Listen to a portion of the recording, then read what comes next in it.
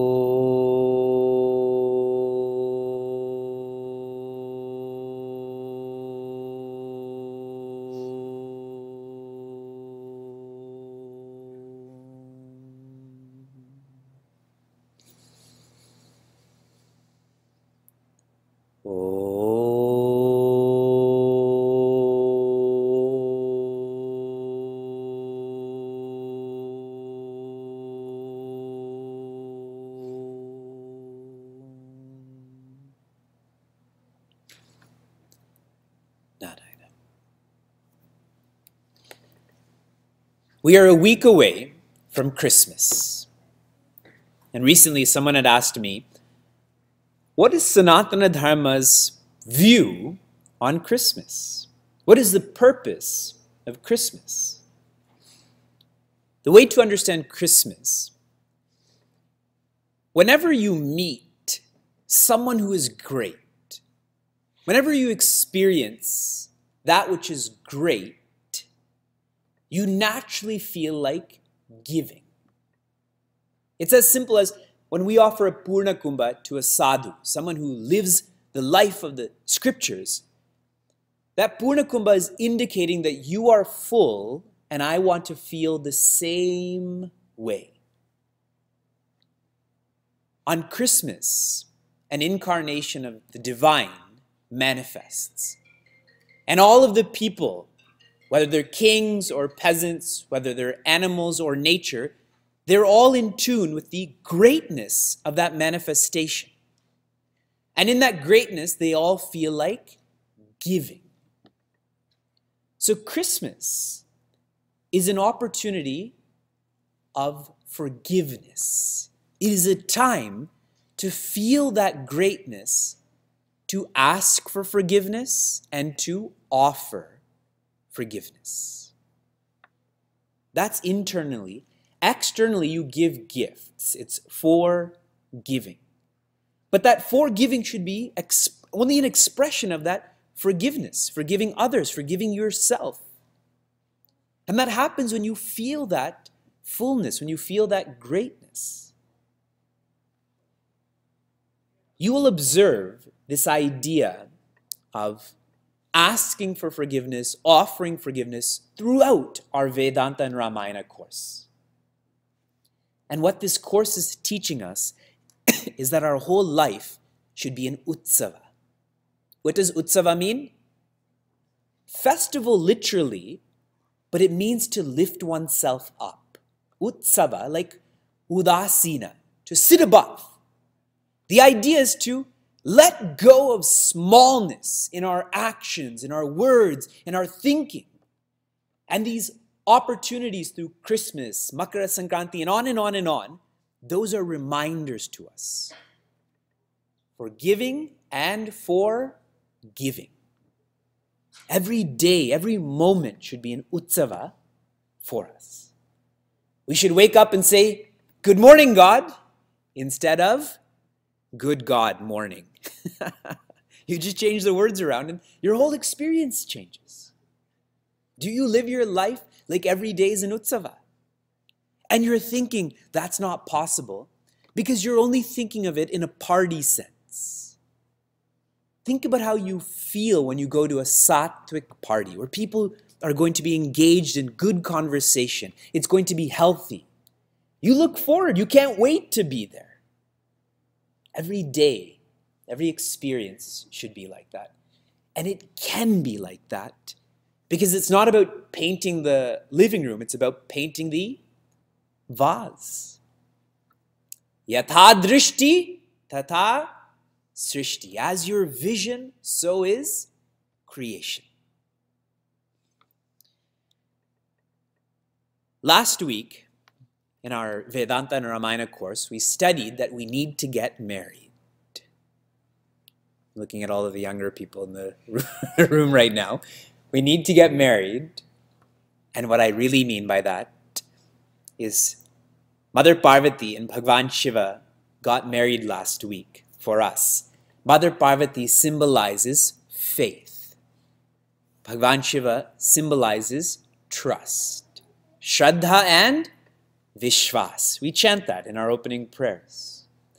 Their marriage should happen in our personalities, where we have to go from faith to trust. See, we're, we're just flirting with belief right now. But this course is teaching us leave alone belief, you have to get to trust. And only when faith marries trust, in other words, when we grow up, then trust can get married to peace. See, we are Mother Parvati. Unless we get married to Lord Shiva, we cannot then have darshan or the presence of Bhagavan Rama, who symbolizes that ananda. In Ramayana right now, we've not even studied Bhagavan Rama, we've only studied Bhagavan Shiva. This marriage needs to take place in our hearts. When Mother Parvati marries Bhagavan Shiva, she's an awesome wife, he's an awesome husband, they're an awesome couple. One of the raws that I had asked all of the study groups was to write down the seven most cheerful couples that you know. The seven most cheerful couples you know actually know. And I said, don't write the Obamas or the Clintons or whoever else. You don't know them. I mean, you know well.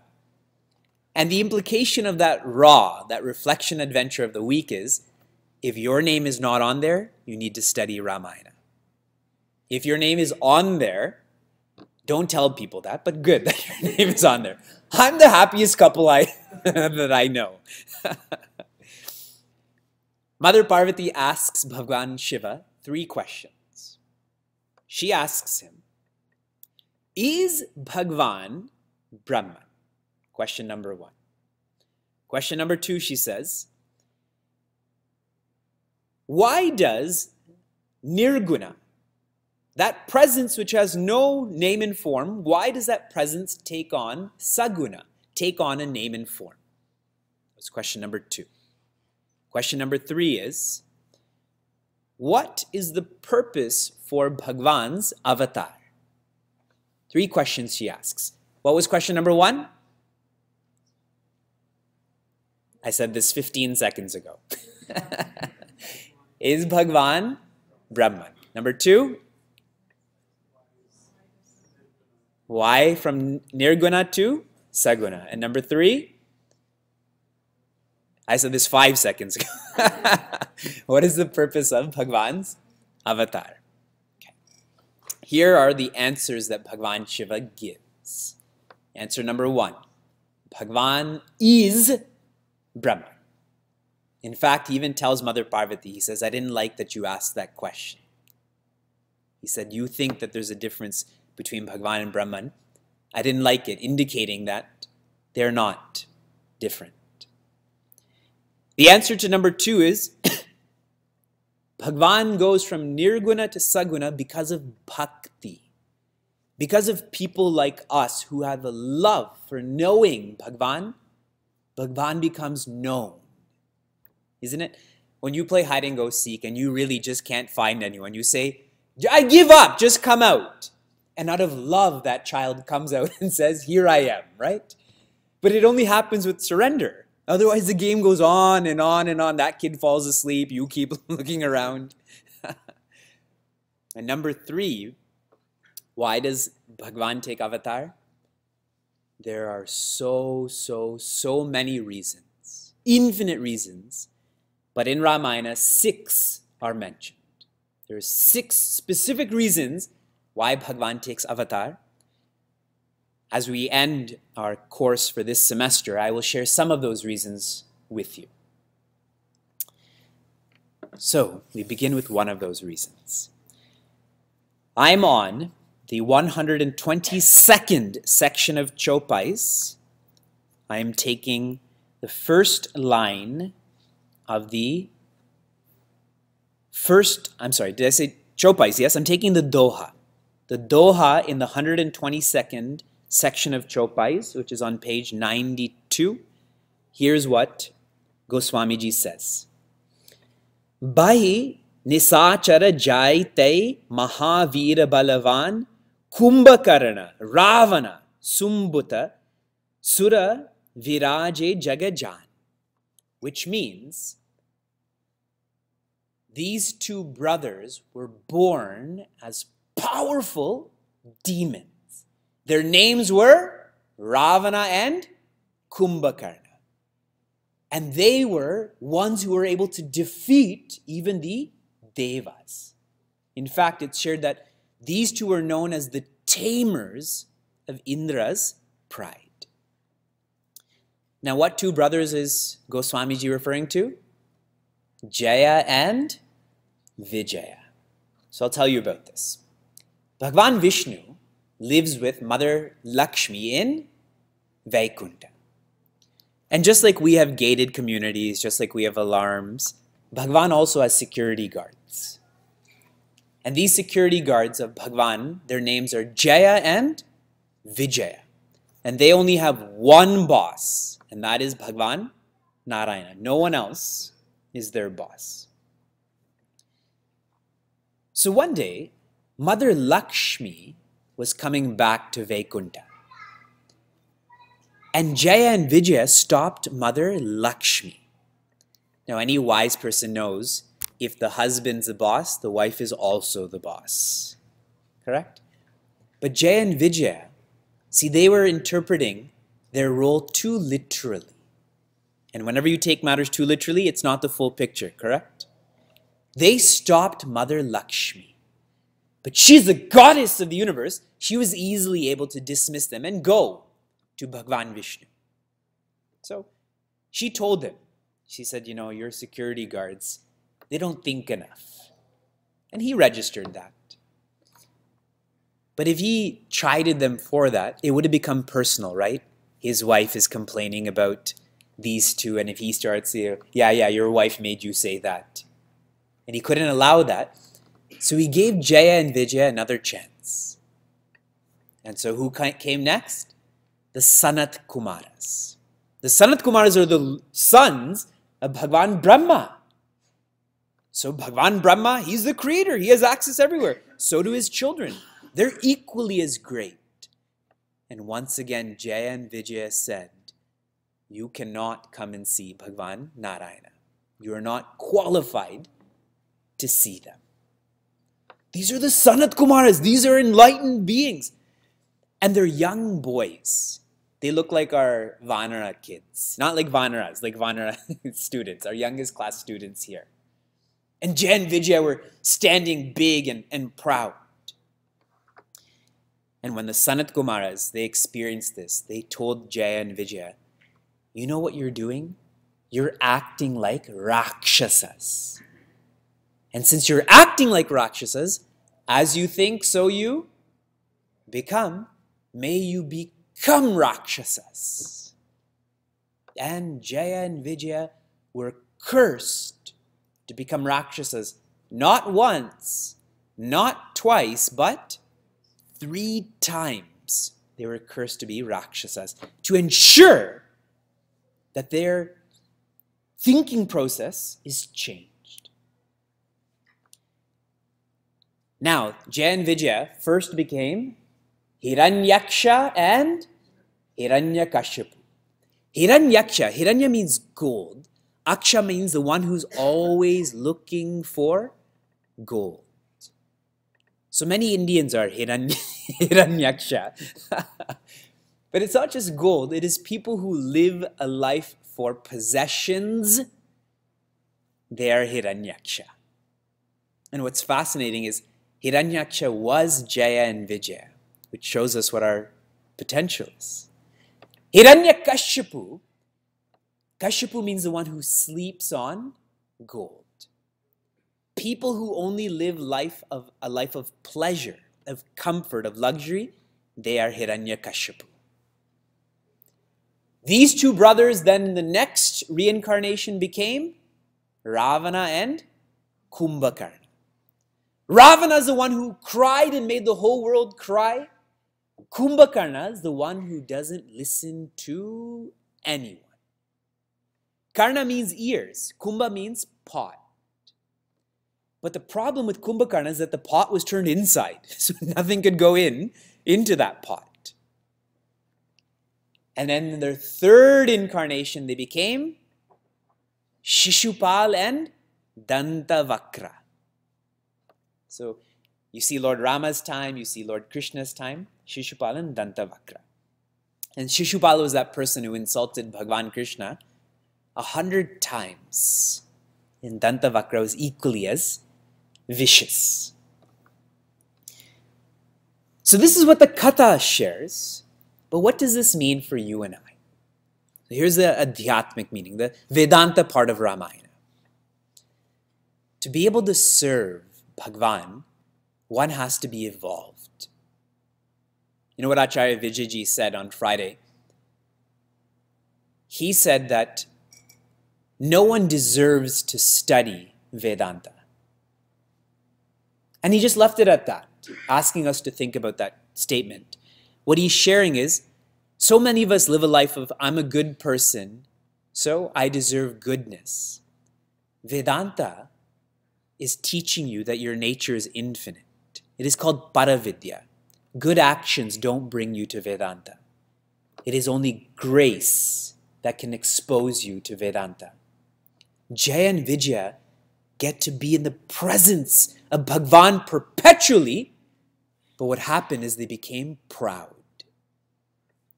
For you and I to be vigilant, to be grateful for these opportunities, not to be proud of these opportunities. And I've emphasized endless times before you start being a sevaka, you have to be a sadaka. You have to learn how to serve before you serve. Because if you just serve without learning how to serve, it's just a different form of ego. It's destructive. You saw Jay and Vijaya. They were destroyed and they caused destruction. But Bhagwan is so forgiving. Remember how I started the discourse? He forgave them. He actually didn't take three incarnations, he took four. Just in case they had to be incarnated again, he was already ready to come.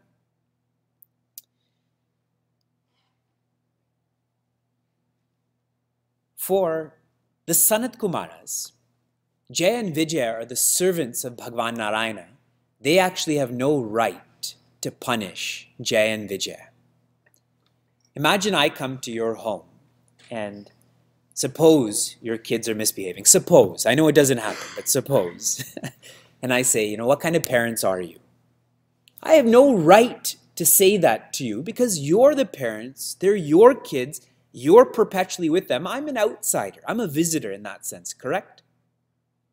It's not appropriate. So, why didn't Bhagwan Narayana tell the Sanat Kumaras, Who are you to punish my servants? To uphold their virtue. He forgave them. Their curse is going to manifest, but he went down to save them. It shows again Bhagavan Vishnu didn't just forgive Jay and Vijaya, he also forgave the Sanat Kumars. That's amazing that he said, I will take on a name and form just to uphold your word. Remember, Bhishma said, I will make you pick up a weapon to Bhagavan Krishna. Do you think Bhagavan Krishna needed to pick up a weapon? But he did it to keep Bhishma's words strong. And, you know, the Sanat Kumars, they learned their lesson. They became Prahlad and Vibhishana. So they weren't ignorant people that, oh, I made a mistake and who cares?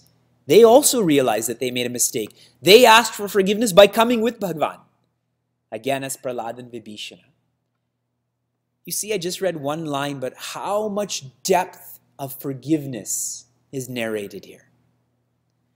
We all make mistakes. Ask for forgiveness. Forgive yourself. You know, the Rajasic seeker, the person who's filled with aggression, when they make a mistake, they decided to get up at 6 a.m., but they didn't, so they got up at 6.15 a.m. But they thought at 6.15, I've already gotten up late, I may as well make it 7.15 a.m. And on and on and on. That's rajas. But the sattvic seeker, the one who's filled with calmness, they made a mistake by getting up at 6.15. Really, the mistake is getting up anytime past 3 a.m. it's a mistake. but the sattvic seeker says, I tried and I didn't get up, but now I'll get up. And I love how Swami Tejomayananda shared this. He says, based on um, chapter 6 of Shrimad Bhagavad Gita, every seeker has to promise themselves, number one, that they will not fall further. You watch one episode of Netflix you shouldn't be watching, some show, don't watch the second. you will not fall further. And then his second point was, and you will lift yourself from there. So now in here we have 75 people, 70 different five levels of evolution. Someone's at rung 100, someone's at rung 10, someone's on rung negative 3. Wherever you are, you lift yourself from there. Okay? And now we get to a very hilarious and awesome and powerful section of Ramayana called Narada Moha Prasanga. And it's an awesome way to finish our studies for the year. But before I tell you about that, I want to read a line that um, Bhagavan Shiva responds to Mother Parvati with. He says, Bole bihasi mahesa tava jnani muda na koi जेहि जस रघुपति करही जब सो तस तेहि chana hoy. Mother Parvati had asked Bhagavan Shiva, why does Bhagavan take avatara? And Bhagavan Shiva says, he laughs after narrating the reason why he took avatara, Jaya, Vijaya, etc. He laughs and said, nobody is a jnani, nobody is a mudha. Bhagavan Shiva Singh. Nobody's a Gyani. Sanat Kumar is not Gyanis. Nobody's Mudha. Jaya and Vijaya. He says man instantly becomes what the Lord of Raghus wills that person to become in that moment. In other words, you and I are exactly the way we're supposed to be. Acceptance is a powerful virtue that we need to practice with others and with ourselves. You and I will be enlightened when Bhagavan wishes. And later on, I'll tell you, Lord Shiva says again, he says all of this is Hari Icha. In uh, Islam, what is their equivalent to Hari Icha? What did they say? Inshallah, correct? As Allah wishes. We say Hari. And because of Sanskrit, it becomes Hari. But the point is, all of this that is going on, all that will go on, is all Hari Icha. And the implication of this is don't worry. Revel. Revel in joy. Live life like it's an utsava. Lord Shiva says this so many times to Mother Parvati. So now we enter Naradji onto the scene. I am on the 127th section of Chopais. I'm taking the second Chopai, the first line. So 127, 2, 1 on page 95. Bayau na Narada mana kachu rosha. That Narad Muni, there was no rage in his mind. Kahi priya bachana kama paritosha. He spoke to Kamadeva in very loving words. Now, how did this come about? I'll explain. Naradji has a curse on him from Daksha. Daksha cursed Narad Muni that you cannot stay in one place for a long period of time. That's why when you see serials, Naraji's always roaming around. Sometimes he's in space, sometimes he's underwater. He's just wandering. I don't know how long, but I'll tell you, Bhagwan Vedvyasa's son, Shuka, he has proclaimed that he's so independent, he's such a Vairagi, that he doesn't stay in one place longer than it takes to milk a cow. How long does it take to milk a cow? you get the milk carton from the fridge, you pour it into a glass. We don't know, but it can't be that long to milk a cow. And then he moves. So Narad Muni has a curse. See, Shukadev, he chooses to be like that. Narad Muni has been cursed to do that. But one day he was in the Himalayas. And Narad Muni, he never complains about the cold. Unlike all of us, he just has his dhoti and he barely wears a kurta. We have our North Face jackets and our Canada Goose gloves and all of that, and we still complain. And he's in the Himalayas, and he happens to see this beautiful cave. See, when we see a cave, we think of monsters and run. when a seeker sees a cave, he's like, oh, I can spend some time in silence over there. Your cave is now in Mars, Pennsylvania. And he goes into that cave and he starts thinking about Hari, Bhagavan Narayana. And as he's thinking about Bhagavan Narayana, who's watching him? Indra. Indra is the chief minister of all of the devatas. For all of the people from Bharat, what are chief ministers always doing? Try to speak clean as you as you share this. They're always afraid of losing their power, correct? They always create schemes to stay in power.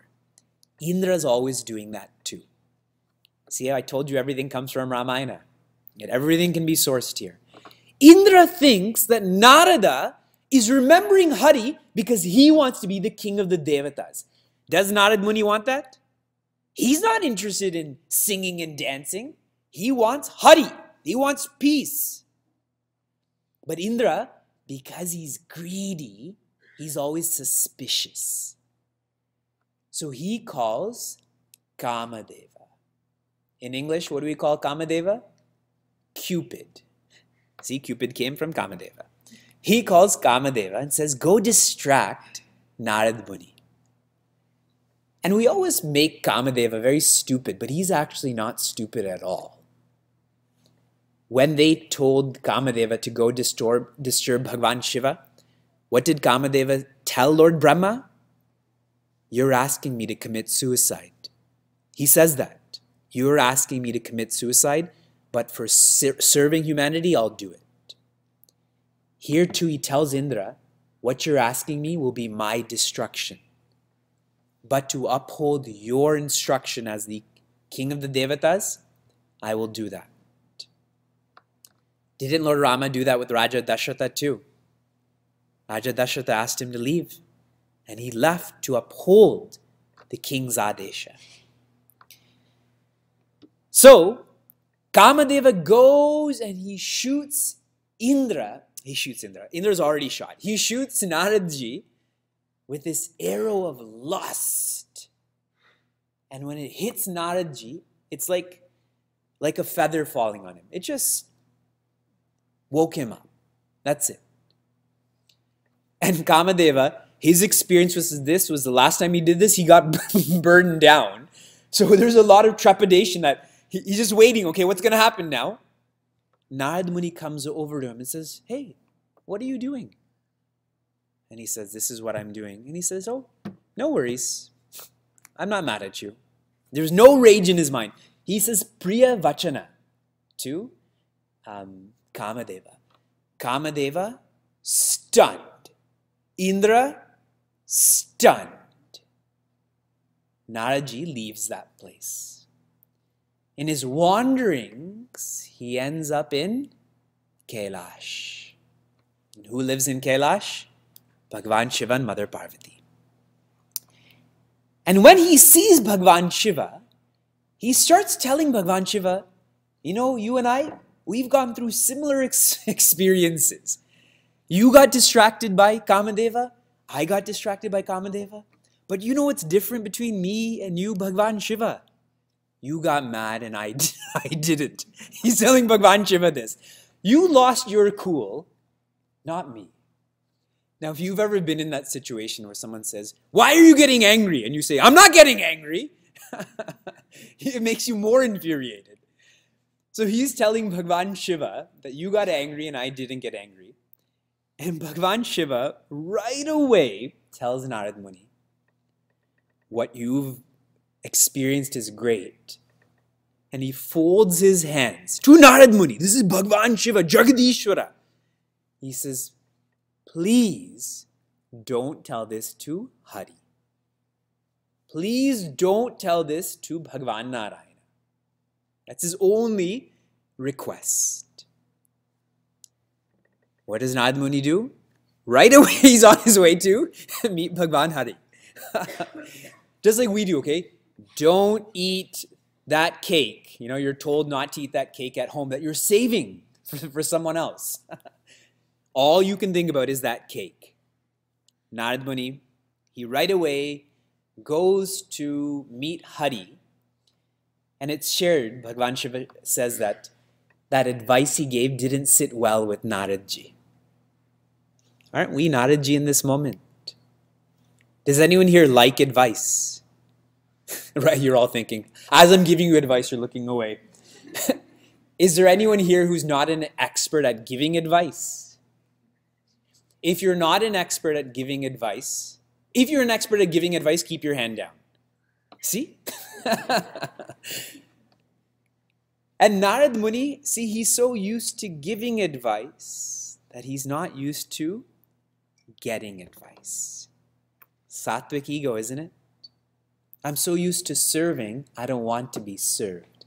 But asking for help also requires one to bend down. To help needs to you need to bend down. To ask for help, you need to bend down. So he goes to Bhagwan Narayana. And usually when he goes to Bhagwan Narayana, it's to praise Bhagwan Narayana, right? You are the Lord, I love you. He goes to Bhagwan Narayana not to praise Bhagwan Narayana, but for his own self promotion. He says to Bhagwan Narayana, You know your BFF, Bhagwan Shiva. He got mad. I didn't. He's telling this to Bhagwan Narayana. What Goswamiji says about Bhagwan Narayana, he says Bhagwan Narayana is Vedanta personified. When we think of Vedanta, we think of Sunday Satsang, Gita, etc. Goswamiji says Bhagwan Vishnu is Vedanta. He says the Veda is the breath of Bhagwan Vishnu. So naturally, Vedanta, which is the essence of the Veda, is Bhagwan Vishnu.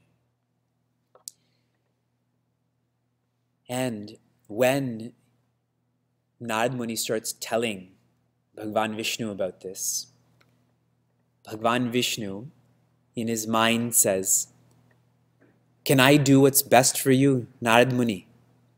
And Narad Muni says, See, he's waiting for recognition. He's waiting for a reward. Bhagwan Vishnu says, Can I do what's best for you?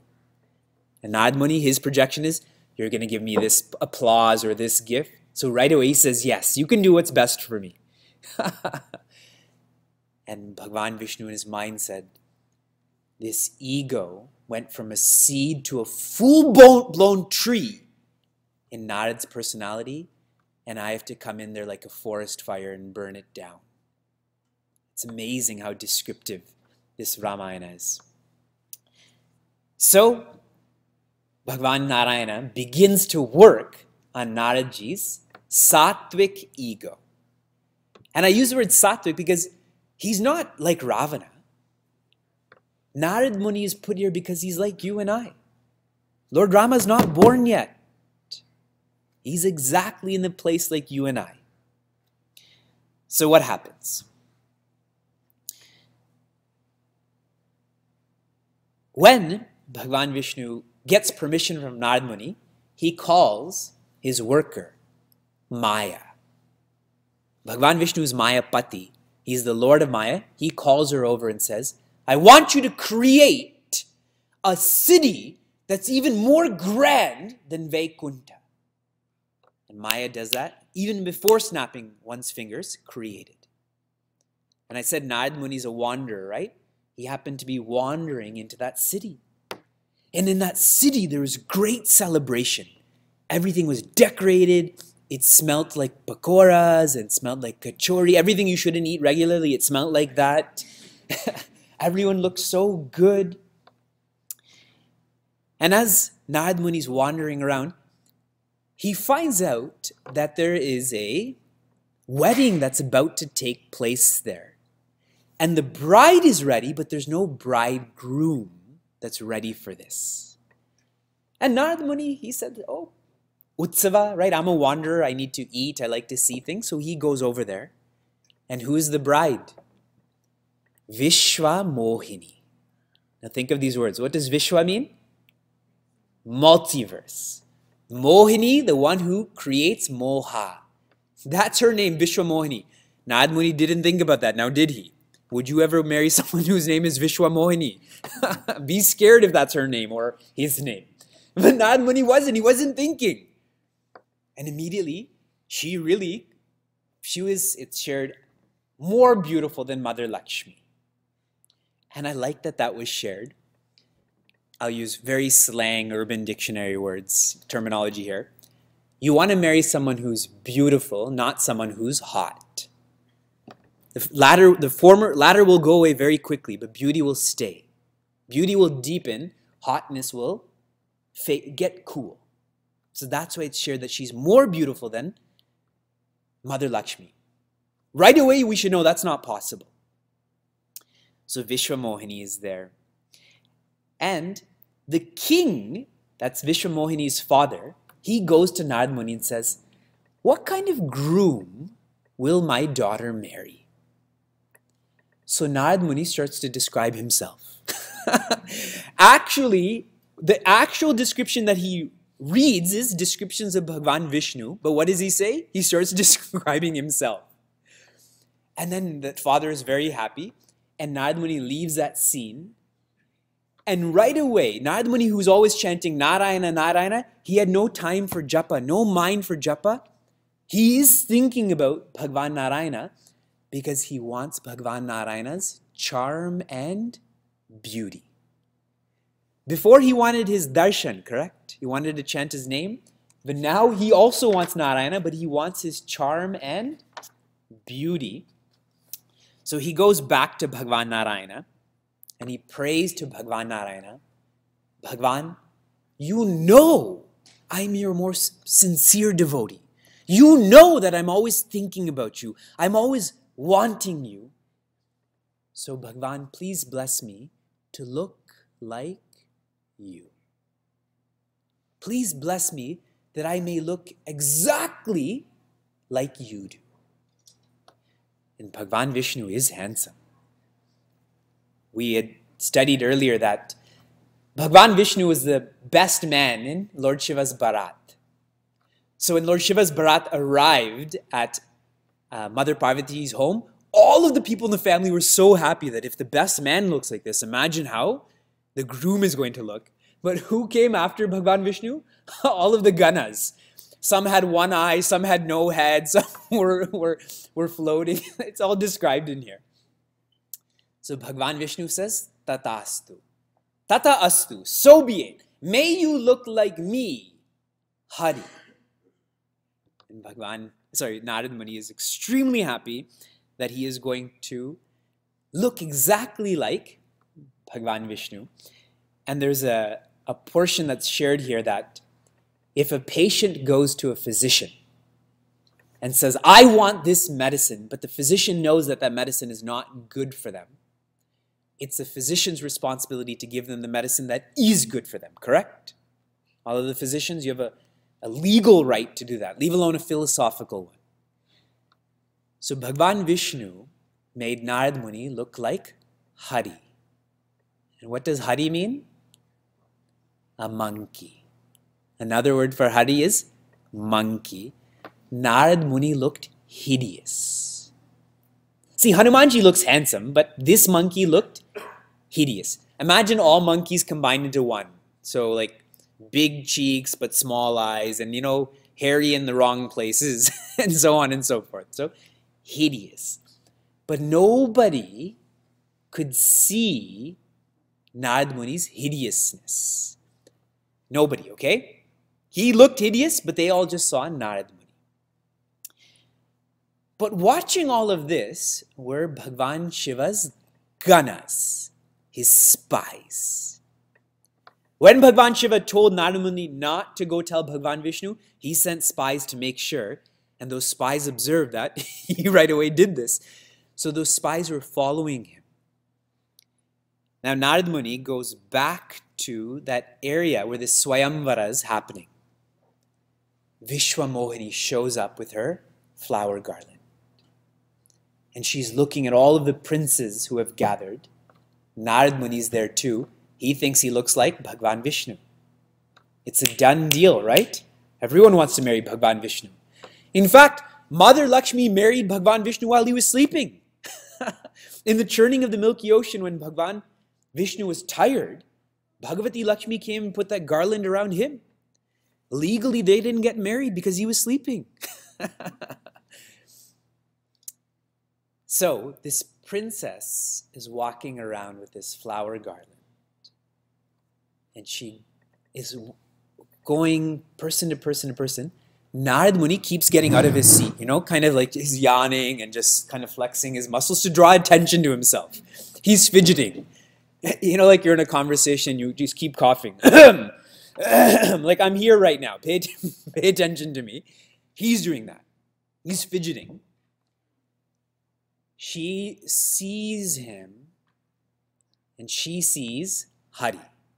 She sees the hideousness of him and she's so angry that he had the audacity to come to this Swayamvara. So she shuns him looks at her like friends and keeps moving. And he's just so surprised that he looks like Hari and she didn't want to marry him. And then he starts hearing these sarcastic comments that are being made. Hey, Hari, how come you didn't get married? Hey, Hari, what are you doing here? Shouldn't you be in the jungle? Hey, Hari, don't you need to shave right now? Shiva's ganas are teasing Narad Muni. And they were teasing him the whole time, but he didn't hear them because he was distracted by Vishwamohini. Now, Vishwamohini finally gets married to the most handsome being there. Bhagwan Narayana showed up there too and assumed the form of a prince, and Vishwamohini marries him. And Naradji is so dejected and his dejection is now being directed at these ganas who are telling him, go look in the mirror. And he's so irate at them. And when he realizes, he does look in the mirror, he realizes that he does look like Hari. He just loses himself completely. First, he curses those ganas. He says to those ganas that you are making fun of me because I look like a monkey? May you look like a monkey. And then he goes straight to Bhagwan Narayana. Narad Muni, his greatest devotee, goes to him and says, You are such a thief. You are so jealous. In that churning of the Milky Ocean, poison came out and you gave it to your best friend? What kind of friend are you? That um, Amrit came out and you stole it and took it for yourself? You are a thief. You are jealous of me. You disguised yourself and got married, and you made me look like this. The way that I've looked like a monkey, monkeys are going to help you in your next incarnation. And not only that, the way that you separated me from my potential wife, your wife is going to be separated from you. Curses Bhagavan Narayana. People who are going to help you are going to be monkeys. Your wife is going to get separated from you partially, partially, temporarily. And in that moment, Bhagwan Vishnu lifted that Maya. Vishwamohini disappeared. Naradji looked exactly like he is. And in that moment, he came back to his clarity. And he felt so sad at what he had done. And he begged Bhagwan for forgiveness that I, I didn't know what happened. And Bhagwan Vishnu smiles and says, Hari it's my will that this happened, Naradji. No worries. And he comes down as Rama, and his helpers are monkeys, and Mother Sita gets parted from all of that. I will finish by sharing a chopai that Bhagwan Vishnu tells Naradji, you feel sad. And here's what I want you to do to overcome your sadness. I'm on the 138th section of Chopais. The third Chopai, the first line on page 101. This is what Bhagwan Vishnu tells Naradji, who is feeling genuinely asking for forgiveness. What can I do? He says, Japahu jai sankara satanama hoihi hridaya turata vishrama. Naradji, go chant Shankara's name, Shata. Shata means a hundred times. And Turata means Turanti. Quickly, your heart will fi- find Vishra, will find rest. So here, Bhagwan Vishnu is telling Naradji, I've already forgiven you. And if you want to forgive yourself, then what you need to do is chant Shankara's name. He doesn't say his own name, Shankara's name a hundred times. And you will find peace. And this is such a loving message, which is why I wanted to finish with this message for all of us. Don't we chant that if you chant Hanuman Chalisa a hundred times, that person will be sukhahoy, correct? That person will be happy. Is there anyone in this room who's chanted Hanuman Chalisa more than a hundred times? So many of you have a hundred times or more. Have you found peace?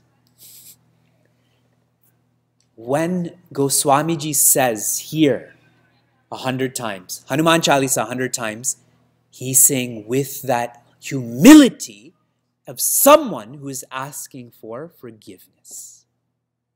You may have nothing to ask for forgiveness for. Really, we have lots to ask for forgiveness for. But even if you feel like you have nothing to ask for, but with that level of humility, which creates sincerity that we just need to chant a hundred times. And all of the peace that you and I are trying through pleasure and possession and position, that peace will be with us turanti, immediately. Many of you may be thinking this is too easy. You know what? I was with Guruji and someone said, Swami Tejomayananda, can you give me a sadhana? So he gave him this sadhana. And that person said, it's too hard. So then Guruji said, do japa. And that person said, it's too easy. See that ego. This is too hard, that's too e- easy. Sattvic ego is, I don't want to do anything. I'm already like this.